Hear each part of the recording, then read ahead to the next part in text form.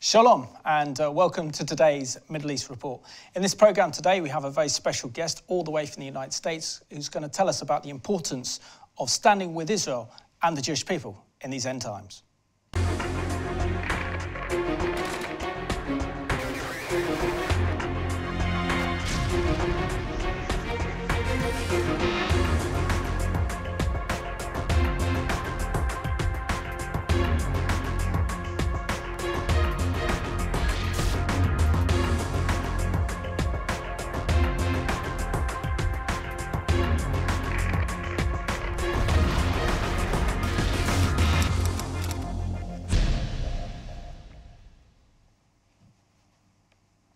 Warm welcome to the program. And today we have a very special guest all the way from Phoenix, Arizona, and uh, that's Rabbi Jonathan Bernis, the president and CEO of uh, Jewish Voice. Well, what a pleasure it is to have you on the Middle East Report, uh, Jonathan. Simon, it's a pleasure for me. And, and I just want to begin by thanking you and Howard and everyone at Revelation TV for standing with Israel and the Jewish people. It means so much to me as a Jewish believer. Thank so you. keep up the good work. Thank you, and, and you as well. I mean, so many of our viewers uh, tune in and watch uh, watch Jewish Voice in your programs as well, and uh, the way that you educate the church around the world about the importance of uh, Israel and the importance of the Jewish people is excellent. So thank, you. Thank you. But can we start where um, where your journey began? Um, how did, you, you obviously grew up in a, a Jewish background. Uh, how did you come to faith in Yeshua HaMashiach? Oh, my. Uh, 38 years ago, I was studying in university. I had one goal, Simon, and that was to be a successful, wealthy businessman. I was, had just completed my second year in the School of Business Administration and uh, had all my goals set and plans set, and the Lord intervened through a girlfriend that came to faith and began to witness to me. And I didn't know it at the time, but she had all of her friends, her new Christian friends, praying for me by name. I finally went to a Bible study with her, and I, I grew up in a home that didn't teach a lot about what Jews did believe, but clearly what Jews don't believe. And it was made very clear to me from the time that I was knee high Jews don't believe in Jesus. So that wasn't an option for me. But something happened in that Bible study. I, I looking back 38 years ago, I felt the presence of God and my separation from Him, and I prayed a prayer.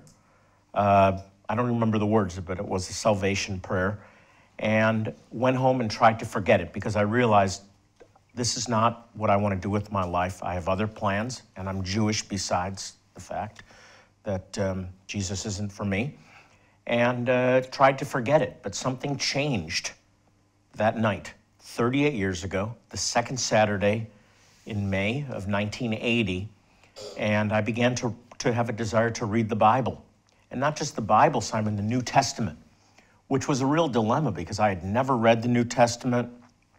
I was taught the New Testament was a book of a different about a different religion, had nothing to do with the Jewish people, other than being blamed as Jews for killing the God of Christianity. So it was taboo for me, but I, I had this desire that kept growing.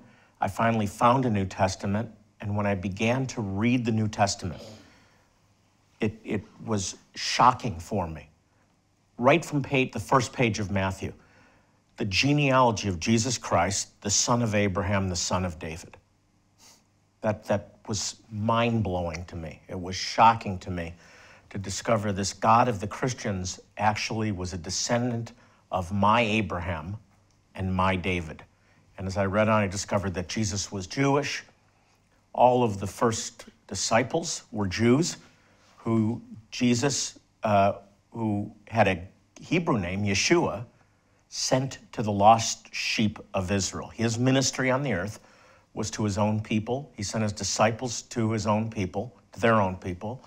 And then I discovered all the first followers of Jesus were all Jews who never converted to another religion. And that changed the course of my life.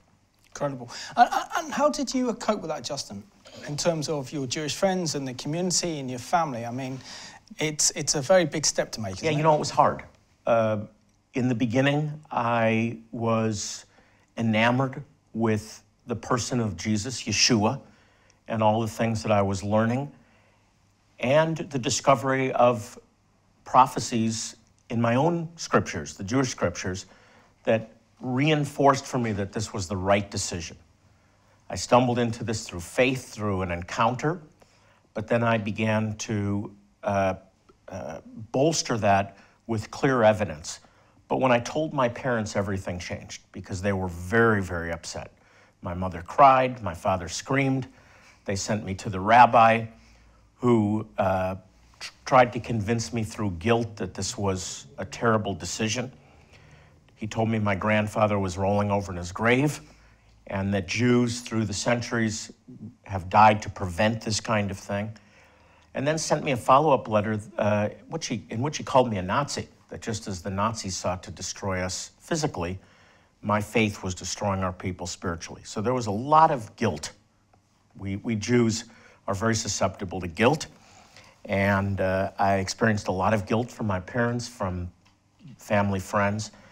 Uh, and I almost lost my faith over it. It was a very, very difficult time, but uh, sought the Lord. There were people praying for me, and I eventually came to a point where I was so convinced that this was true. And if God is for you, who can be against you?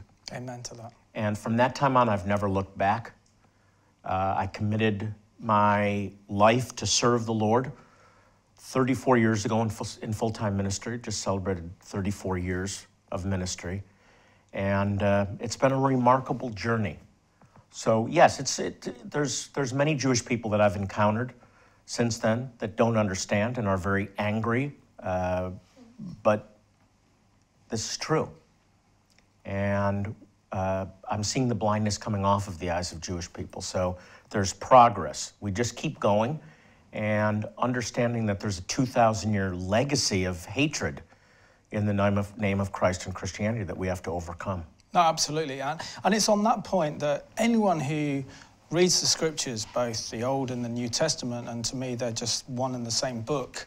There is no difference between the two because it's the God of Abraham, Isaac, and Jacob is, is still the God in the New Testament. You only have to read the book of Revelation to know that. Um, but really, the point I want to make is um, how has the church for over 2,000 years been so deceived when it comes to the Jewish roots of the faith? The fact that uh, Yeshua HaMashiach, the Messiah, was Jewish, his disciples were Jewish, the whole entire early church was Jewish. And yet, what we've seen over the centuries is any Jewish element completely ripped out right. of our scriptures right. and interpretation. And it's very, very sad that that's happened. And Paul warns the church in Romans chapter 11 before the emergence of, of replacement theology. It had already began very early by the uh, early part of the second century. But Paul warns us boast not against the natural branches. He's warning the church that if God's finished with them, he's, fin- he's why trust that he's not finished with you? Absolutely. So there's this warning. Uh, I think Paul had the foresight to see where things were going. Uh, and it did go in that direction. So by 325, with the Nicene uh, Council, you have all things Jewish removed from the church. I think that it's a combination of a few things uh, Simon, the growing success of the gospel among the Gentiles, the fact that Ro- Rome was persecuting the Jewish people, especially after 70 AD through the Bar Kokhba revolt. But then you have the spiritual reality of, of Satan that is committed to the destruction of the Jewish people because he knows the role that the Jewish people uh, play in the redemption of the world. Uh, and what Christians don't understand, that Satan understands, I think, is that the Jewish people play as important a role in the return of the Messiah as they played in the first coming of the Messiah. He was ordained to come through the children of Abraham, and it's through the children of Abraham that all the nations are blessed, which is the call of the Jewish people and the ultimate fact that Jesus had to come through the Jewish people and that the Jewish people have to recognize and cry out to him before he returns. And so Satan's plan, I think, is very simple. Anti Semitism, as many scholars say, is not a, uh, a, an irrational, illogical hatred of the Jewish people. Anti Semitism is a very, very logical, very rational, very calculated effort to stop God's plan from being fulfilled. And it's for me that simple that this is satanic, demonic at its root, and sadly the church fell into that deception. Uh, uh, and sadly, that disease uh, known as uh, you know, Jew hatred is, is still very much uh, alive and kicking today, uh, particularly in Britain and Europe. Um, I mean, we're looking at the highest levels of anti-Semitism on record since prior to the start of World War II. Uh, the fact also that Her Majesty's opposition is plagued with uh, news stories relating to some kind of anti-Semitic incident happening week in, week, uh, week out, uh, which is causing great alarm amongst the British Jewish community. And even in, for example, in France and in, in, Brussels, you have the Jewish community there that are very scared to even be identified as, as being Jewish. But there is something very special about the United States and the history of the United States that ever since um, President uh, Washington um, defeated the British, um, there's been a very close relationship where the Jewish community has almost been accepted um, as equals in the United States. That hadn't happened before in history. Do you think that's why America is so blessed? Absolutely. I think uh, America, from its roots, has provided religious freedom for the Jewish people. Uh, and the Jewish people played a very important role from the Revolutionary War on. Uh, I do see anti Semitism growing in the United States, particularly on college campuses. Uh, anti Zionism uh, many who uh, are involved in this claim is not anti Semitism, but I would beg to differ. It is anti Semitism at its root, and it's growing rampant in, the, in universities and the left wing in the United States. So I'm very troubled by what I'm seeing in America, but it's clearly worse in Europe right now, particularly Western Europe, sadly uh, Simon and I might be moving across the boundaries of political correctness, but Islam, fundamentalist Islam at its root, is anti Semitic. And I believe they're the new carriers of anti Semitism. And it's spreading quickly worldwide. Absolutely. Um, why, why, do you think we're, we're seeing such a, a, a global outbreak of, uh, of anti-Semitism? Because after the, after the horrors of World War II and when the revelations came out about what Hitler did, the, the murder of, uh, eight mil, uh, of six million Jews on an industrial scale by the Nazis really meant the whole issue of, of anti-Semitism was pretty much a taboo subject. Um, it had pockets of it, but it was kept down by society. And, and now almost over 70 years on, uh, we seem that uh, this problem is um, threatening to destroy Western civilization, particularly sure. in Europe. Well, anti Semitism repeats itself throughout history. You see it from the time of, you see it in the book of Esther, you see it with uh, Pharaoh, the new Pharaoh that doesn't recognize the blessing of the Jewish people that Joseph and his people have brought. You see it with Herod killing the, all the male firstborn. This has repeated itself. Uh, the Crusades, the Spanish Inquisition, uh, the pogroms of Eastern Europe. After the Holocaust, there was a period of horror and an effort to, uh, to shift Christian thinking. Unfortunately, there was a liberal movement that, that, that uh, moved in that direction and rejected the validity of the gospel to the Jewish people, which for me as a Jewish believer is troubling. But we're just seeing the rise of it again because it's been a, a blight on humanity. And again, I think it's a satanic, it's a demonic strategy uh, that um, Satan understands clearly that the Jewish people are key to the redemption of mankind and he hates God's plan, he hates God's word, and the Jews are the, the, the, the focal point of keeping that redemptive plan from taking place. That's how I understand Scripture. Absolutely. Uh, if we talk about uh, your organization, uh, Jewish, Jewish Voice Ministries, um, can you share with us the, the depth and the structures within your organisation and the incredible humanitarian work that you're doing through Jewish Voice, as well as having a, a weekly programme that uh, our viewers can watch on Revelation Yeah, thank TV. you. So we've been around since 1967. I didn't start the ministry. I was seven years old when it started. it began with a real pioneer named Lewis Kaplan, who was a Jewish believer kicked out of his home at 19 years of age, rode the rails in America, and uh, was had a healing ministry with the Assemblies of God. And then in 1967, right before the Six Day War, just months before the Six Day War, God told him, start a ministry to reach your own people. Jewish Voice, and it was a radio ministry. Began in Phoenix, Arizona with one station and then spread from there. I, from the time that I was uh, a, a young believer, knew God was calling me to reach my own people with the gospel.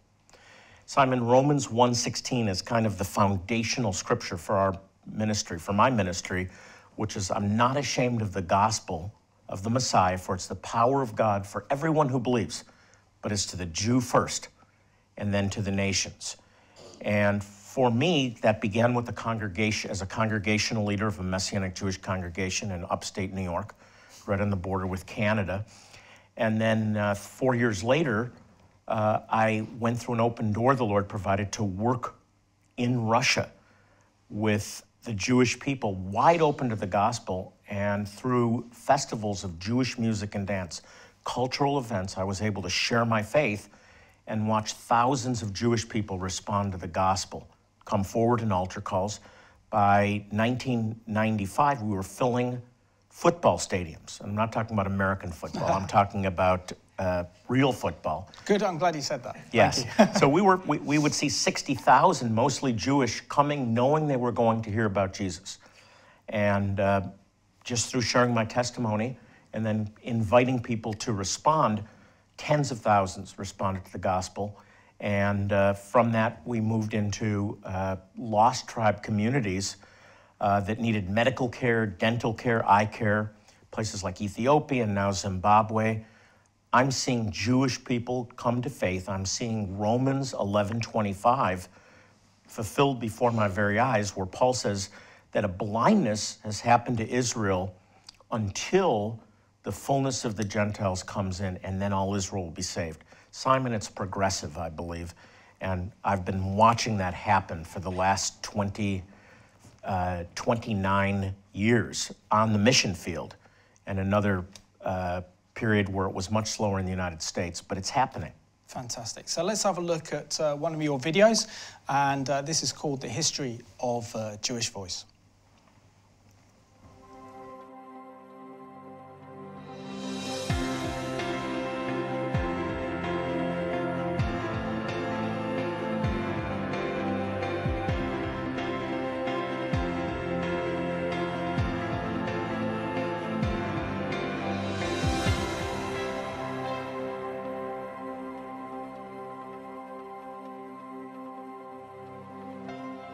Was just over 50 years ago that traveling evangelist Lewis Kaplan heard a call from the Lord. He was to give up his work holding revival meetings and begin a worldwide ministry on the radio, sharing the good news with the Jewish people about their Messiah Yeshua. During that important year of 1967, the first Jewish Voice Broadcasts radio program was broadcast on KHEP Christian Radio in Phoenix. Four months later, on June 5, 1967, war erupted in Israel. In just six days, the war was over. Israel had won, and pivotal prophecy was fulfilled. The Jewish people controlled Jerusalem for the first time in 2,000 years. From its inception, the mission of Jewish Voice has been intimately entwined with Israel and the Jewish people. In many ways, the Jewish Voice story is really Israel's story, and ultimately God's story. The next year, the network grew to 22 stations. And in 1969, Jewish Voice broadcasts expanded to become international. Lewis Kaplan began the decade of the 1970s by traveling to Israel to preach and share his dream of broadcasting there. A woman named Kira was in the audience and became fascinated by his mission. Within a year, Lewis and Kira married, and she joined the ministry. One of her first contributions was to begin the Jewish Voice broadcast newsletter. By 1972, Jewish Voice broadcasts were heard weekly on 43 radio stations. That same year, the ministry sent its first witnessing teams to the streets of Israel. In 1974, Elliot Clayman, a Messianic Jewish attorney, taught Jewish Voice Broadcast's first Bible school classes in Carmel, Haifa, in Israel. Jewish Voice Broadcasts celebrated its 10 year anniversary by opening the JVB Center in Phoenix in 1978. The ministry also began production of the first Messianic Jewish satellite television program in the world. The pilot TV program aired that fall on CBN, PTL, and TBN, and it originated in the Kaplan living room. The new JVB Center was finished early in 1979. The Phoenix Messianic Fellowship was founded that year and began regularly meeting at the JVB Center. The next year, across the country, in Buffalo, New York, a 20 year old Jewish college student named Jonathan Bernis accepted Yeshua as his Messiah. In 1982, the Phoenix Messianic Fellowship became a congregation in Arizona while two years later, 24 year old Jonathan Bernis founded Congregation Shema Yisrael in his hometown of Rochester, New York. The 24 year old Messianic rabbi was to serve the congregation for nearly a decade. Meanwhile, in 1985, yours truly became the new host of JVB's television program called L'Chaim. Jewish Voice Broadcasts present L'Chaim, meaning to life, proclaiming the life of the Messiah. In 1990, Rabbi Jonathan Bernis embarked on his first trip to the Soviet Union. He went specifically to visit refuseniks, who were Soviet Jews being persecuted for observing Jewish tradition. His destinations were Moscow and St. Petersburg, and he traveled with five representatives from the Messianic Jewish Alliance of America. They were armed with 300 Bibles, 400 pieces of Messianic literature, and a list of five refuseniks in six days, everything they brought with them had been distributed. Jonathan was deeply impacted and returned several times to share his faith. It was on an airplane flying home from his third trip that the Lord spoke to him, calling him to return once again to reach my people. There were three million Jewish people in the former Soviet Union at that time, and Rabbi Bernis could only think of two individuals who were trying to reach them with the gospel. The next year, in May of 1993, Jonathan Bernis conducted the first International Festival of Jewish Music and Dance in St. Petersburg, Russia. It was a tremendous success, with more than 14,000 attending and 3,600 Jewish people coming forward in altar calls and filling out follow up cards. That fall, at the age of 33, Jonathan resigned as Rabbi Shema Yisrael and started Hear O Israel Ministries. He moved to St. Petersburg and founded the Messianic Jewish Center there and more than 300 attending weekly services. Over the next 12 months, festivals were launched in Minsk, Belarus, Kiev, Ukraine, and in Moscow. New Messianic Jewish congregations were formed in all three cities. In fact, the congregation founded in Kiev is now the largest in the world with nearly 2,000 members. The following year, 1995, Hear O Israel festivals began to fill football stadiums. Only stand if you want to pray this prayer with me. The next year, Kira Kaplan traveled to Kishinev, Moldova to document the Hear O Israel festival. More quietly, she met with Jonathan Bernis to discuss the possibility that he might be Lewis Kaplan's successor upon Kaplan's return. Jonathan's reply was a swift, Thanks, but I'm not interested. And with that, the third decade of Jewish Voice broadcasts came to a close. And that shows you some uh, incredible insight into the work of uh, Jewish Voice over the years. Um, Jonathan, you, you, must be very proud to be the president and CEO of such an organisation that is doing uh, incredible work in terms of spreading the gospel and educating the church about its Jewish roots. But I have to ask you now about the um, Messianic Jewish community in Israel because um, they are not only loyal to the state, but uh, so many uh, Messianic uh, Jewish believers are serving in the top echelons within uh, the Israeli defense establishment, in the IDF and others, who are more than patriotic. What do you think it means when you have um, a believer serving in the IDF who fears God and prays? What do you think that adds to Israel's defense capabilities? I think it's a huge benefit because you have alignment not only with the values of the state of Israel and the Jewish people that believe in a restoration to the homeland, but you have people that are totally aligned with God's plan for the Jewish people, which is both a physical restoration back to their land, but also, Simon, their spiritual restoration back to God. And that, we believe, is through a relationship with Him that's provided by His Messiah, the one name given under heaven by which we must be saved. That's true for Christians and all people, but it's, to, it's, a, it's, a, it's a, a, way that's made to the, for the Jew first, as I said earlier.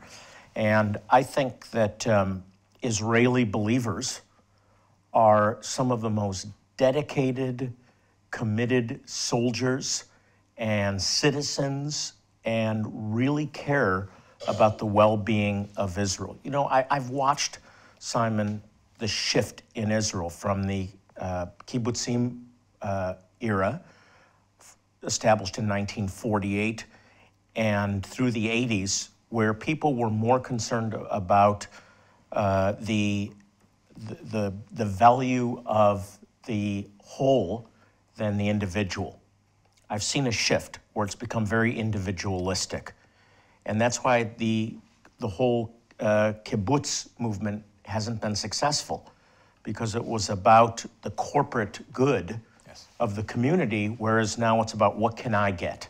That's happened in Israel. But among the believers, there's a commitment to the whole.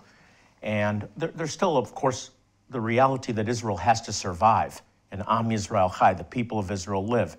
But I see with believers this, this greater commitment to the good of the whole, and that benefits society.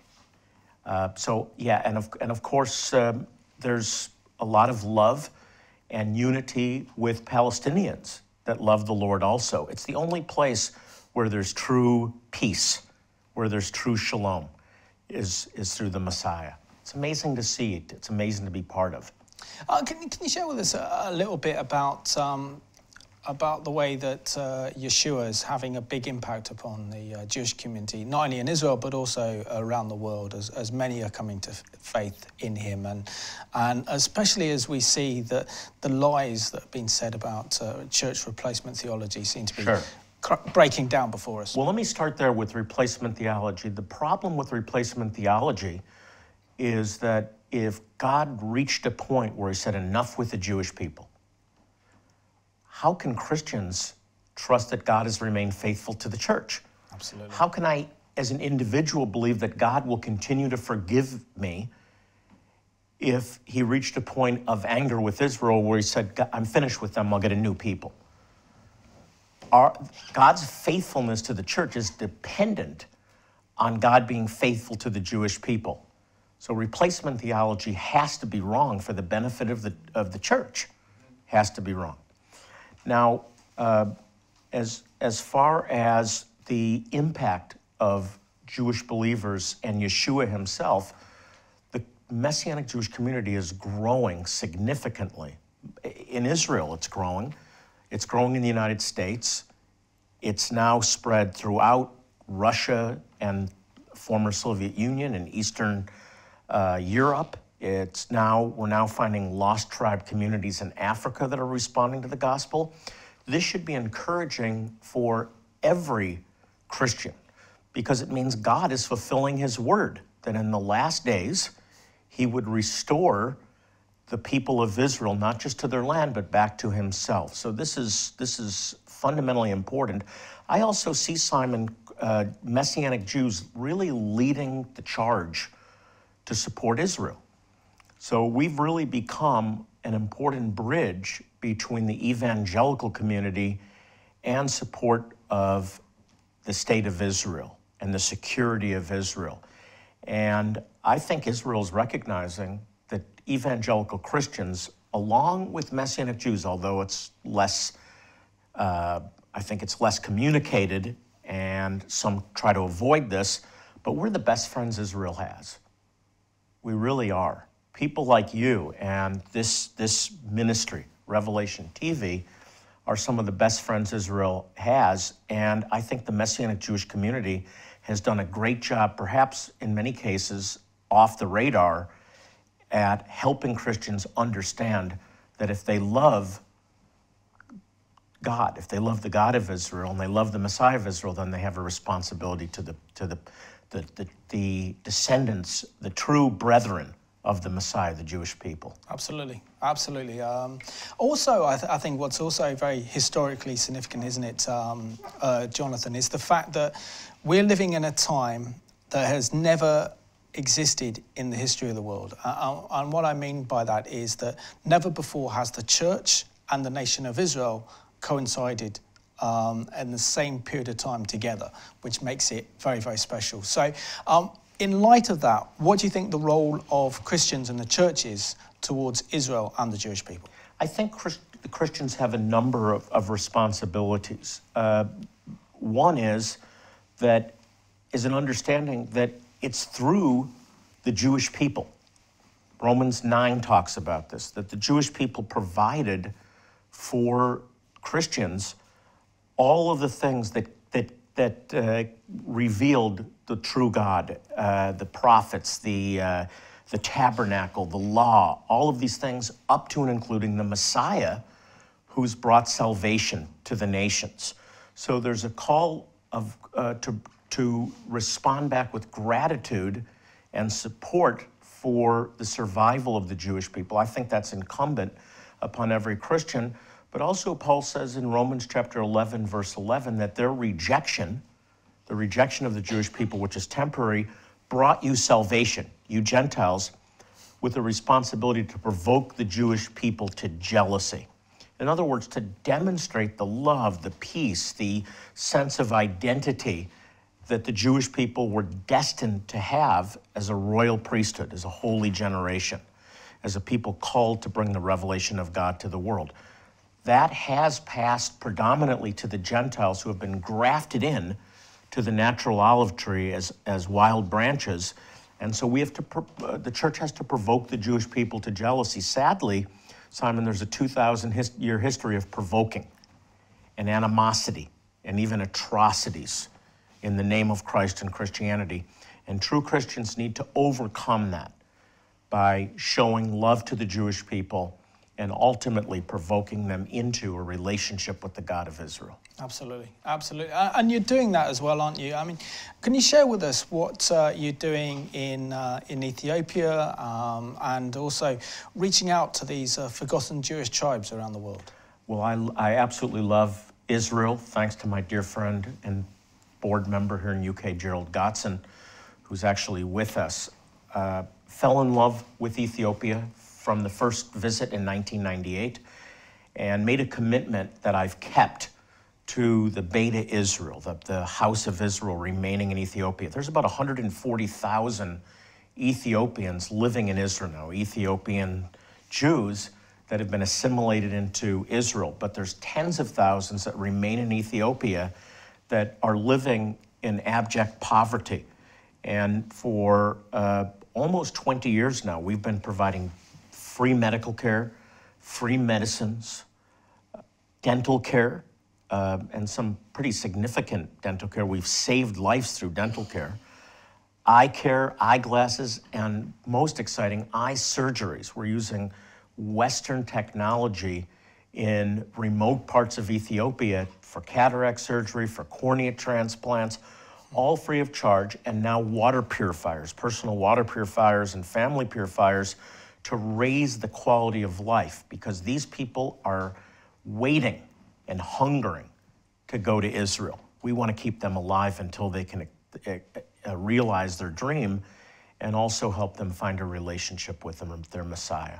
Fantastic. So let's have a look now at uh, the uh, second part of the uh, history of uh, Jewish Voice, and then we'll have a look at some of the miracles being carried out in Ethiopia. Decade 4 began with formation of the Messianic Jewish Bible Institute to train leaders for the Jewish harvest in partnership with God's Grace and Tikkun International and Shady Grove Church in Dallas. Dr. Wayne Wilkes and his wife Bonnie served faithfully as the first international director for 20 years. In August of 1997, the Kaplans were in Finland, en route to meet Jonathan Bernis to participate in a Hear O Israel Ministries Festival when Louis Kaplan suffered a devastating stroke. He spent three weeks in a hospital in Finland. In May of 1998, Israel turned 50 years old, and the next month, Jonathan was again asked to lead Jewish Voice broadcast, this time with a better reception. He eventually agreed and was elected the executive director of Jewish Voice broadcasts. A year later, May 19, 1999, Louis Kaplan went to be with the Lord. In October, Hear O Israel Ministries broke ground with a new kind of event held in Gondar, Ethiopia. It was still called a festival, but it included a medical team of four doctors who would minister to the great physical needs of the people in attendance. This event planted the seed for the massive medical outreaches that would follow in the new millennium. In 2003, Kira Kaplan and several other board members attended a very important event as Jonathan Bernis married Elisangela Carneo in Cariba, Brazil. A year later, on January 30, 2004, Kira Kaplan passed away.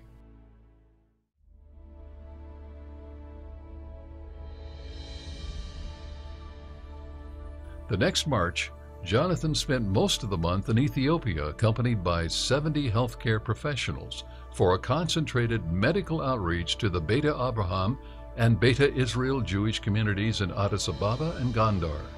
They served 7,512 patients, distributed 3,400 pairs of eyeglasses, and two specialist surgeons performed 50 eye surgeries.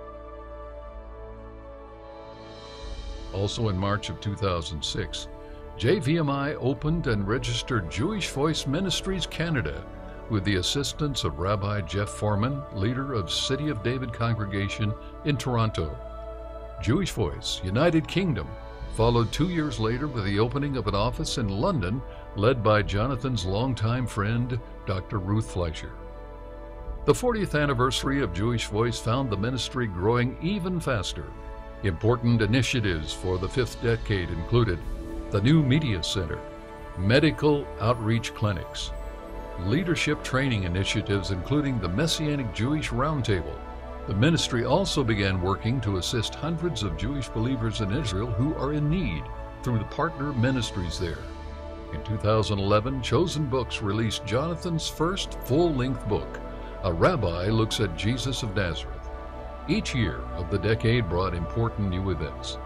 In 2012, the first outreach to the Lemba took place in Mberengwa, Zimbabwe.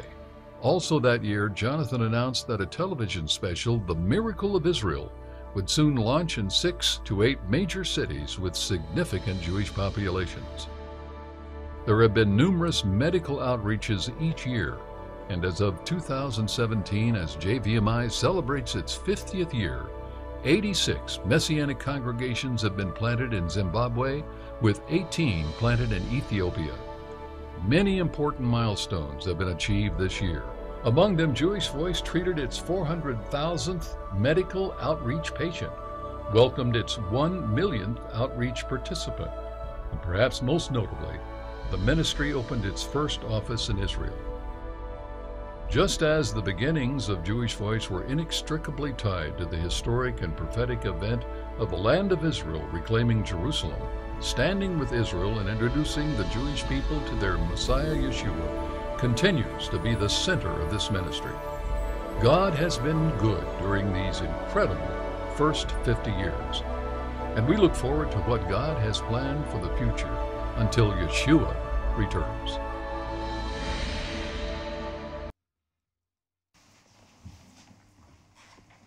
There you go. What a history uh, of uh, Jewish voice over the years. Um, Jonathan, I, I, have to tell you, I have to ask you about what's happening in the United States with uh, President Trump. Um, I mean, we're living in such extraordinary times. Who would have thought, and I certainly wouldn't have thought, that uh, President Trump, A, would have got elected, and uh, secondly, um, actually to move the US Embassy from uh, Tel Aviv to Jerusalem and recognize Israeli sovereignty over Jerusalem uh, to mark Israel's 70th anniversary as a nation reborn. Um, can you tell us what is happening uh, in the States uh, and why is this administration blessing Israel so much and standing with Israel? Well, I'm, I'm not sure I completely understand it myself. I was a real doubter. I was not a, a Trump supporter because I didn't believe there was a, a commitment to the evangelical community. And the evangelical community played a major role in the President, President Trump being elected. Uh, and I also believe it's, it's a divine thing now. I, I just didn't see it before. And when he became president, I was shocked, as were most evangelical friends in the Messianic Jewish community. And then very doubtful that he would fulfill his promises. But it's been an amazing thing to see and then when he declared uh, Jerusalem as the capital and stated that he would move the embassy, I thought it would take a number of years because I know there's been a lot of pushback. We're very polarized in America over this presidency and over the decisions that are being made, but he's kept his word to the evangelical community. He's been keeping his word to the Jewish community, and it's been an astounding thing. I believe that he is aligning America with the blessings of God, maybe unknowingly. I don't know. I know a lot of people around him uh, that speak into his life, and he listens to them, according to my friends that have access to him. And he's made some great decisions that he's kept. I believe America uh, has now aligned with God's plan for Jerusalem. And Genesis 12, I'll bless those that bless my people. I, I think he's being used by God to align America with his blessings. Um, and there's been many. I, I don't know what the future holds, but I'm very, very pleased with what I've seen so far. And I was there for the embassy opening, and it was an incredible experience indeed. So, very exciting times.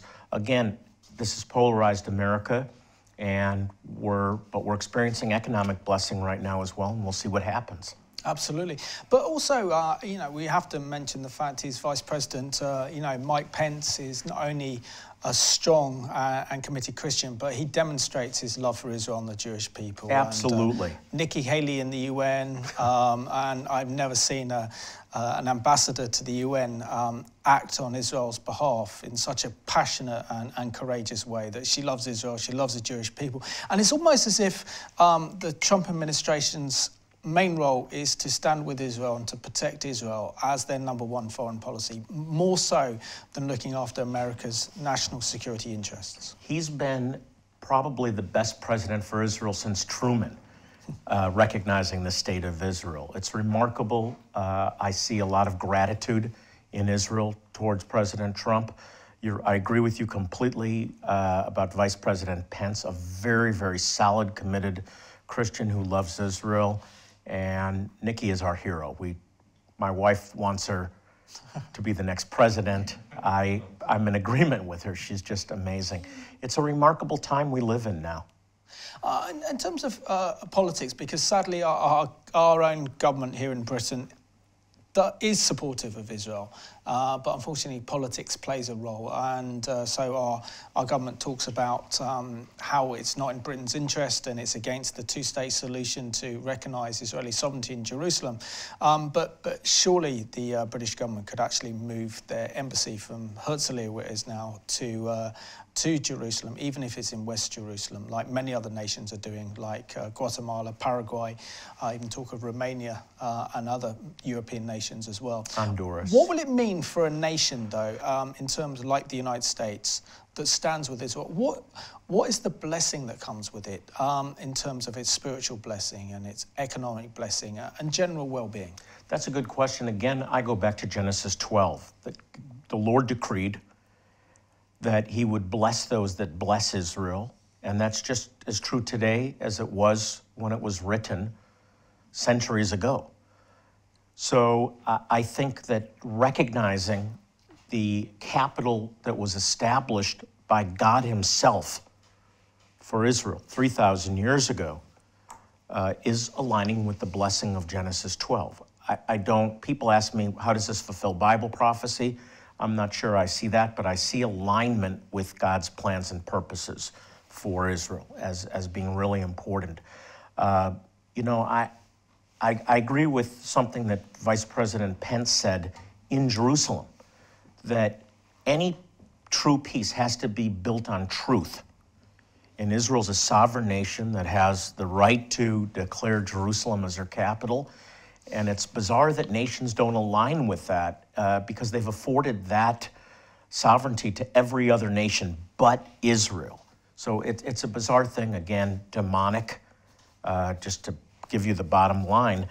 Uh, but I agree with President uh, Vice President Pence that uh, peace has to be built on truth and recognizing Jerusalem uh, as the, three, uh, the capital of Israel for 3,000 years is a, a step of truth that I think builds a proper foundation for peace. Absolutely, and also what's what's remarkable uh, um, about Israel is the uh, the fact that the land is the fulfillment of biblical prophecy from the prophets from thousands of years ago has come alive in our day. Everlasting possession, and we have the opportunity to actually see God's word come alive in our day. So almost uh, like we're living in, in, in, biblical times. In light of that, how should um, believers in Yeshua HaMashiach stand in these days, and what should their reaction be towards God's people, the Jewish people in Israel? Well, Simon, thank you for asking that. First of all, I, I no Messianic Jew that I know or solid evangelical leader supports every action of Israel. They are a society predominantly in unbelief that need the gospel, that need uh, a revelation of God's law and order. That's absolutely true, and we're, we believe that that's the greatest thing that Israel can experience is a revival of the good news and a revelation of who the true Messiah is. I think that, that Christians are called to stand with the Jewish people uh, regardless of their response to the gospel. And again, that doesn't that doesn't sanction everything Israel does, but their right to the land as an as a, uh, a irrevocable promise, and their calling as a people, again, is irrevocable. And Christians should understand that. So yes, they're in unbelief and I don't believe they'll experience true peace in unbelief, but their right to the land is indisputable. It's a biblical land grant promised by God to the children of Abraham, Isaac, and Jacob. And I think Christians either align with, with that because it's, it's part of the Word of God, or the Bible becomes origami. It's just cut and paste as you choose. And then why do we even believe in a literal uh, uh, death, burial, and resurrection of the Messiah. It's dangerous. We either take the whole Word of God or none of it. Absolutely. We can't pick and choose. Absolutely. Uh, and I've been studying uh, recently, and it's been coming, uh, been shut on my heart really, the whole prophecy in Ezekiel 37 about the dry bones and the different stages. Uh, first, um, Ezekiel is told to prophesy these dead bones, and then the bones come alive. Um, and then the Lord talks about then um, proclaiming to, uh, to uh, Ezekiel to proclaim um, a mighty army. And we see a mighty army. And then it talks about the son of uh, David taking the throne and setting up his right. kingdom. So do you think that we are that close to the millennial reign of Yeshua HaMashiach that we now see in Israel probably the most powerful army in the world, certainly the most powerful army in the Middle East? Today? I do, I do indeed. I believe we're in the end of the end. I think the restoration of Israel in 1948 set a prophetic time clock uh, ticking again. 1967 was a direct fulfillment of the words of Yeshua himself that Jerusalem would be trodden down by the Gentiles until a set period of time known as the fulfillment of the time of the Gentiles. That happened in 1967. And uh, I don't know if many Christians are aware that shortly after that, there was a revival in the nations, particularly in America with the Jesus movement, the uh, uh, charismatic renewal, and many, many Jewish people came to faith in Yeshua, retained their identity, and that's really the birth of the modern Messianic Jewish movement, directly connected to the restoration of Jerusalem. And I think we're getting closer and closer and closer to the return of the Messiah. And I believe he's coming back literally, physically, bodily, not to Rome or London or New York. He's coming back to Jerusalem. And uh, that had to be back under the control of the Jewish people so they could cry out, Blessed is you comes in the name of the Lord, because Jesus said, You won't see me again until you say that. Baruch haba b'shem Adonai. I can hear the words coming Amen. out of Jerusalem. And in the final few minutes of the program, um, Rabbi Jonathan, um, how can our viewers really prepare themselves for the coming apostasy? Because uh, Yeshua talks about the end of the age is marked with a huge increase in apostasy. Yeah, I don't think that there's any way to prepare physically for it, like storing food or water. I'm just not a believer in that. I believe in spiritual preparation. That's going to get us through as long as we're here, and I don't, I don't know how long pre, mid, post, I, I don't know. We endure until he comes, until we're taken out. And the only way we can do that is by growing closer to the Lord now while there's this period of grace where we, can, where we need to cultivate the ear of our spirit to hear the voice of God, see through his eyes, and be close enough to him that when disaster strikes, we're prepared spiritually because we have cultivated our relationship with God and we can be led by Him in that kind of detail. I believe the world's getting darker and darker. That that's just the reality, and it's going to get darker and darker. But we who are committed to serving the Lord are going to get brighter and brighter and brighter. And I think, Simon, that the opportunities ahead for God's people is greater than any time in, in his, the history of the world. So I'm glad I live now in these days. Uh, Rabbi Jonathan uh, Bernis, I just want to thank you so much for being uh, my special guest uh, on the Middle East Report, and uh, thank you for sharing your insights. Uh, thank you for your remarkable program, Jewish Voice, and the work that you do around the world. And you know, in terms of Israel and the Jewish people, and also the Messianic community, it's just a pleasure to serve them and fight for them. Honestly, thank you, and I'm so, I'm so appreciative of the opportunity to be with you and all you're doing. Thank you. And uh, I just want to thank you for watching this very special edition of the Middle East Report. And uh, as uh, Rabbi Jonathan Bernis has said, it's so important that we stand with Israel, that we stand with what the scriptures say about the importance of Israel and the Jewish people, especially in these last days. So thank you for watching this special edition of the Middle East Report.